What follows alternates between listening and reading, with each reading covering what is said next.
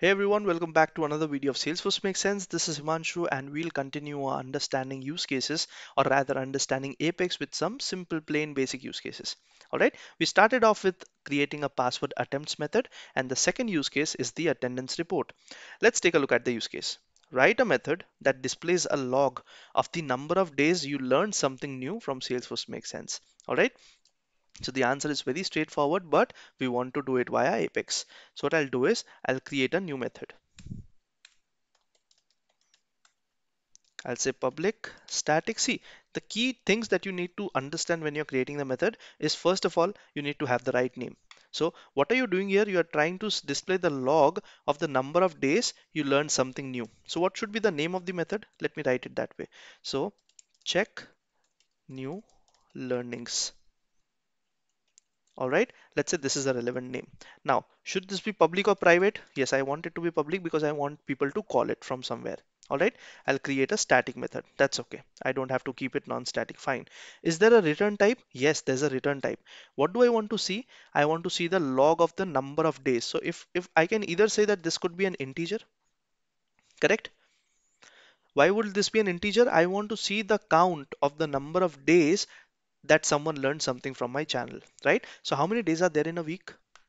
17, right? I'm kidding. Seven days. So seven days, 24 hours per day. So out of seven days, how many days did you actually learn something from the channel or something from this from the tutorials is what I'm wanting to log as part of the result of this method. So it can be a number, correct? So I've kept integer. So it could be 0, 1, 2, 3, 4, 5, 6, 7, anything, correct? So your method syntax is set up. Let's say save.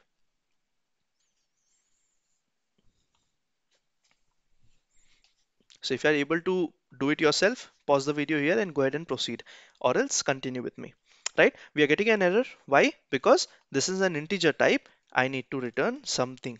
So I'll just return, I'll put a return statement so that I'm able to save the file for now. Okay.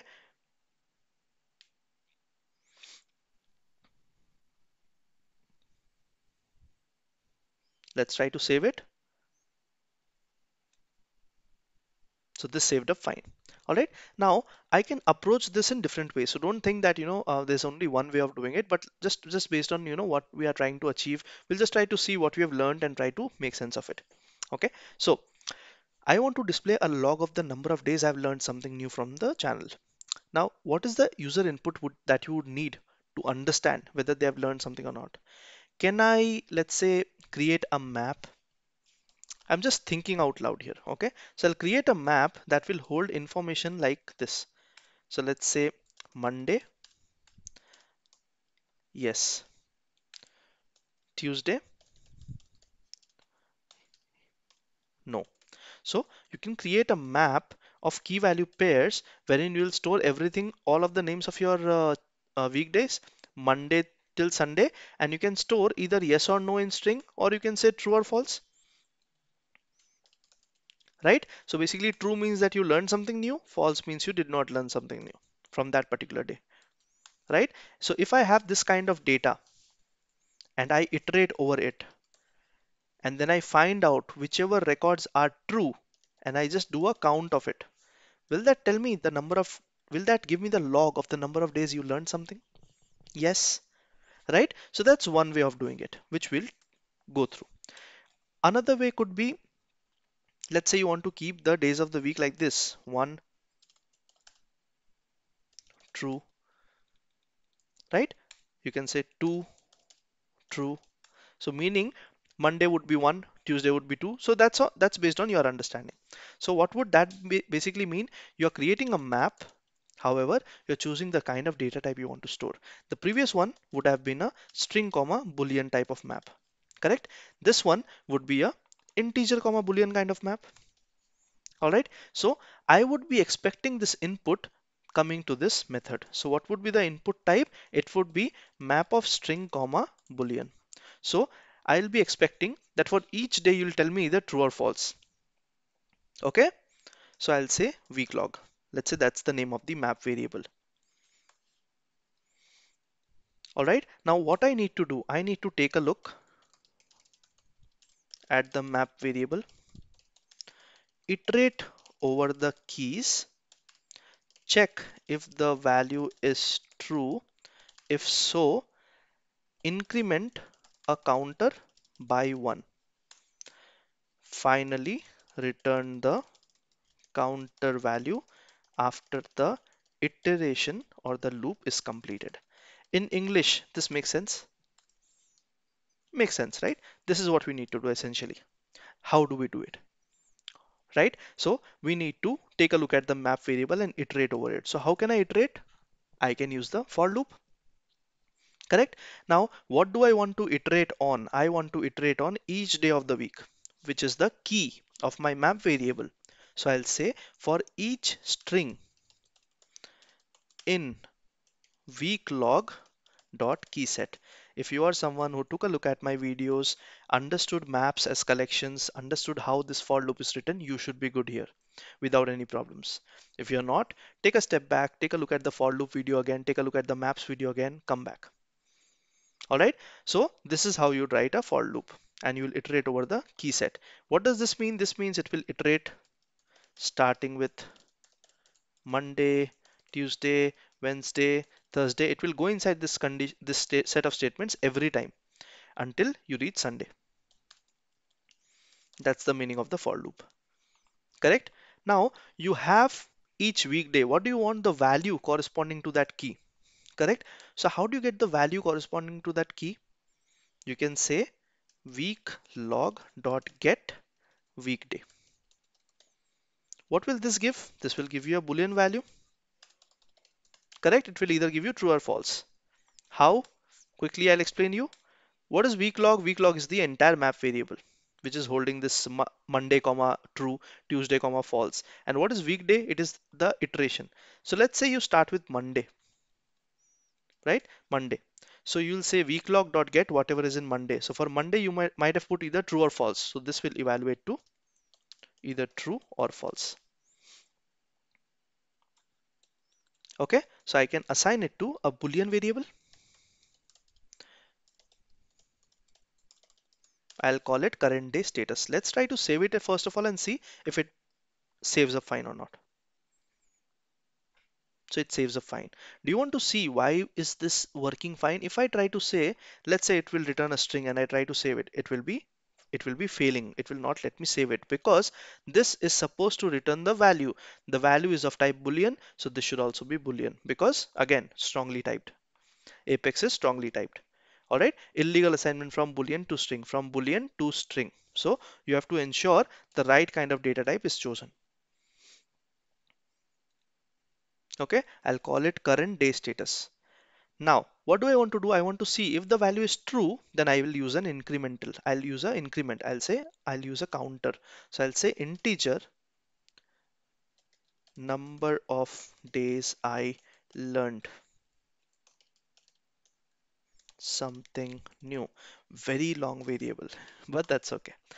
I'll initialize this variable to zero because I want to take a look at that at my map variables and then increment it. But by default, it will stay zero correct? Because I don't know yet how, how many days have I learned per week. Now this is the variable I want to increment. When will I increment this? I'll only increment this when current day status is equal to true. So I'll say if current day status equal to equal to true. Now what is the short code of writing this? I don't need the equal to equal to. Why? Because boolean is already true or false. So this will evaluate to true if the value is true here. Make sense? Perfect. So if current day status is true, I'll simply say number of days I learned something equal to plus one.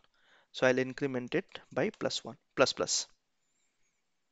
Okay, else I'll not do anything. I just have to increment it if I found any day that is true, that has the value mentioned as true. All right, now once this if condition runs, once it runs for the entire Monday till Sunday, it will reach this line here which means it would have executed and completed the for loop, which means it would have looked to all the days of the week and stored the counter variable, the final counter variable. So what I can do is I can return the final counter variable instead of this static integer. So I can simply say whatever is the number of days I learned, return it from here and I'll say save. Why will this save up fine? Because I'm returning an integer type and this variable is also an integer type. All right, let's get rid of all the extra comments to reduce the code number of lines and try to save it one more time. Okay, and if you notice, I'm keeping everything indexed, I'm keeping everything oriented, uh, spacing, all the uh, best practices of writing the names uh, in the right cases, assignments, everything is fine. Okay, so try to write this on your own if you're trying to do it on, on your own, or try to write it with me the way I'm writing it. Make mistakes right now, it's okay. Let's not make, make mistakes later. Okay. All right, now it's the time to test it out. So what I'll do is I need to call this method basic use cases in Apex dot check new learnings. All right, I cannot hit it directly. Why? Because I need a variable to pass it as a parameter. So I need to create this variable because I need to give this feed this data, right? So I'll create this variable. How do I create a variable? I have to instantiate it. So I'll instantiate this particular variable, which is of type map and how to add values to it by using the put method. So I'll put it seven times. Okay. Let's put seven times or rather let's put six times. Sunday is off. Okay. Sunday is a break day. So I'll say Monday, comma, this should be true. All right. Tuesday, I was again very sincere. True. Wednesday, I felt I had some other work. Thursday, I thought, yeah, let's continue learning. New videos are coming very frequently. Friday, I was completely in Friday mood. And Saturday, I took extra time to learn new stuff. So, again, true. So, you have six items or six elements or six rows inserted in your map. Okay, so week log is a set of six days, Sunday considering off. Okay, so that would be false by default. So your code will iterate over Monday, Tuesday, Wednesday, Thursday, Friday, Saturday, check whichever is true and increment it. So based on this values, what should be the count that should come? How many days did you learn something new? One, two, three, four. Correct? Let's check whether our analysis of the calculation is same as what Salesforce is doing based on our method. Let's say execute. I think we have not debugged it, right? I have to debug it to check it. So I'll assign this to an integer variable. Final answer, and I'll debug it. The reason I'm using debug return statements instead of debug is so that you actually are able to understand return statements. All right, because in actual use cases, you'll not be putting debug statements. You'll be returning the value to your front end. You'll returning you'll be returning the value to your LWC, to your triggers. So it's better to write the return statement. So let's see now what is the final answer. Execute. The log is generated. Let's close the previous log. Let's see the value is 4. All right, let's make a tweak. You were super busy the entire week. You did not do any any new learnings. What should be the value now? It should be 0 because none of your map keys have a value as true. So it will not increment the value at all. It will stay 0, which is the initialization. Where is our initialization? Right here. Okay. If you notice, I did not assign it as public. Not needed. Why? Because I'm using it in my local method. Why do I need to give it public and all of that stuff? Nothing needed. Just plain declaration, data type and variable name. And I assigned it a value 0 because I need to initialize it with something and then it can increment to 1, 2, 3, whatever is required. All right. I did not declare it static. What happens if I declare it static? Let's save it.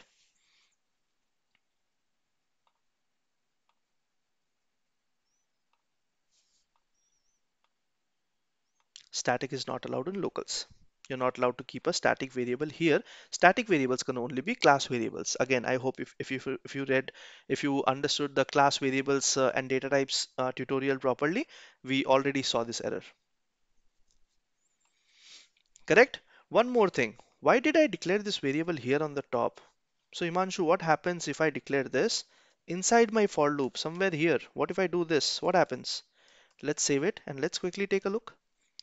So let's say I was active on Wednesday and Fridays. What should be the number of days I learned something new? Two days? Because there are two true flags. Correct? Let's try to execute it. Okay, I think I have not been able to save the file. So let's simply say I'll just put it out here and I'll assign the value of 0 inside the for loop. Okay, I'm just wanting to show you something. Okay, now it has saved up fine. I've just declared the variable here and I have assigned it a value of 0 inside my for loop. Let's say I want to inside, assign it 0 and for each status that I get, I'm just incrementing it by 1. Now pause the video here and maybe just think through and just tell me if you think something is wrong and if something is wrong what is the issue what could be the issue okay and for those of you who want to see what happened if we try to now execute for Wednesday and Friday what is the number of days I learned something new two days correct so let's try to execute and see what answer comes so if I take a log at, look at the debug log it says zero which means 2 has not come up our method is failing what's the reason the problem is that inside my iteration, I am always assigning the value as zero. So the code starts, it starts with Monday, it sees, okay, it is false. It comes inside, it sets the variable to zero. It goes in here, checks what is the log value. It is false. Okay, I'll not increment it. All right, Tuesday. Oh, Tuesday also false. Don't don't increment it. Fine, it will stay zero. Wednesday, I actually did something on Wednesday. So it will come here for Wednesday. It will assign the variable value to zero. It will come here and check for Wednesday. What did you do? Yes, I did learn something new. It will come here for Wednesday. It will increment the value to 1 right? Now it will go back for Thursday. Thursday it will come here. See the same value that you incremented to 1 will be reinitialized to 0 or rather reset to 0 which is why the increments that you are doing here is not making sense. So this initialization has to be outside the for loop or else you'll keep overriding the value that's coming as part of your loop iterations. Now does that make sense? If it does not just try to go through this slowly and just try to listen to what I said probably two or three times if it is not making sense. Okay, listen to it probably two to three times and you'll make sense of it. All right, which is why it is important to assign your variable outside the for loop because it needs to be initialized set outside and then do all your calculation increment decrements inside the for loop and return the final result. If you reset it every time within the loop, then it will always be reset whatever you do. All right, so that's the reason why it is outside. Perfect. That was our use case.